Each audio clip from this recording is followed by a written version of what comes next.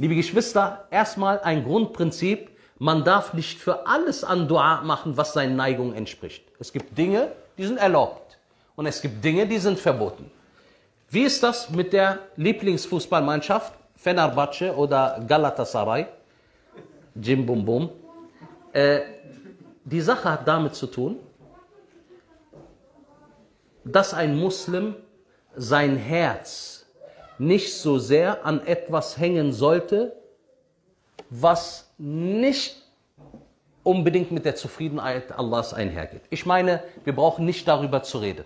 Wir brauchen nicht darüber zu reden, dass die meisten Leute, die Fußballspieler sind, und ich frage auch einen Experten, sind die meisten praktizierend oder die wenigsten? Absolut wenigsten. Er ist ein Fußballprofi. Möge Allah ihn segnen. Und ich frage hier direkt jemanden, der vom Fach ist. Und ich weiß das auch, weil ich auch andere Fußballspieler kenne. Ich selber spiele auch Fußball, aber besser ihr guckt mir nicht zu, sonst werdet ihr keine Liebe mehr für den Sport haben. Auf jeden Fall. Äh, Jachwa, eine Frage. Wenn diese meisten Leute nicht Allahs Zufriedenheit anstreben, was schenkt uns dann Liebe ihnen gegenüber? Was? Was? Gar nichts. Jetzt mal angenommen. Auch die Fußballspieler in unseren Ländern, Billah, manche haben Ridda gemacht. Die haben den Islam verlassen. Manche beten wirklich den Fußball an. Den Fußball an. Du siehst auch manche Leute, wenn er, wenn er ein Tor schießt, dann macht er eine Niederwerfung, aber sonst betet er nicht. Wo ist denn der Sinn? Wo ist der Sinn?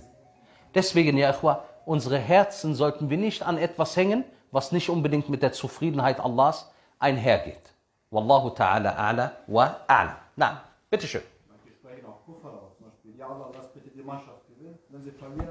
Das ist die Sache. Einer hat mir erzählt, er kam einmal in die Moschee, das war in Ramadan.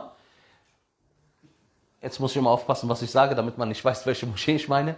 Dann sah er den Khatib auf der Mimba, der hat eine halbe Stunde Dua für seine Fußballmannschaft gemacht. Auf der Mimba. Wir haben ja keine Probleme, ne?